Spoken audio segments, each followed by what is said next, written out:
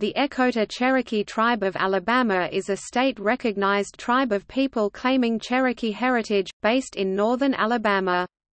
It was among the first seven organizations to be granted state recognition under the laws of the state of Alabama in 1984. Recognition by an American state government is not the same as recognition on the federal level or recognition by continually existing Indian tribes. The Cherokee Nation and Eastern Band of Cherokee Indians include the Echota Cherokee Tribe of Alabama on their list of fraudulent groups.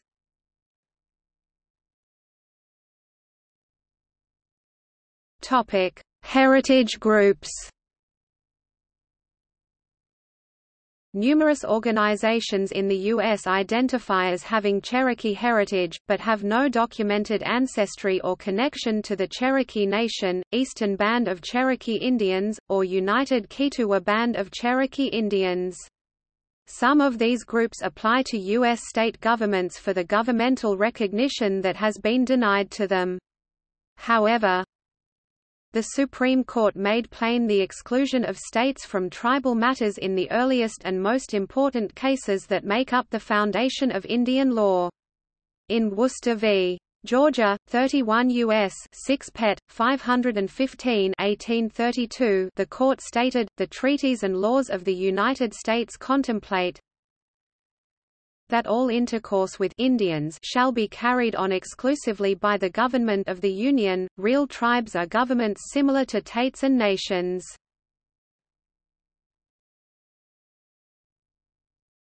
Topic: History. After the passage of the Indian Removal Act in the 1830, the majority of the Cherokee people were forcibly removed from of the southeastern United States. They were forcibly marched under military guard to Indian Territory, now Oklahoma. Many Cherokee died during this brutal event, which came to be known as the Trail of Tears. The approximately 1,000 Cherokee people who remained in the southeast formed the Eastern Band of Cherokee Indians and their tribe continues to live in the community known as the Qualla Boundary. In 1980 a group of people ineligible to enroll in any federally recognized Native American tribe set up a non-profit heritage club known as the Echota Cherokee. In 1984, when the Alabama Indian Affairs Commission was established, the group attained state recognition. The group is headquartered in Falkville, Alabama. In 1997, the Echota Cherokee organization reported that they had 22,000 members, but only 21 members participated in the cited survey. They do not state what criteria they use for applicants to become members of their organization.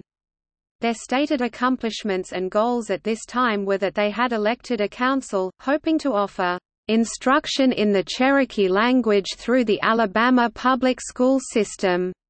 The Echota Cherokee have had a representative on the Alabama Indian Commission, and the Inter-Tribal Council of Alabama's WIA program, to assist workforce improvement. The Echota are not federally recognized as an Indian tribe, nor are they recognized as a tribe by any of the federally recognized Cherokee communities.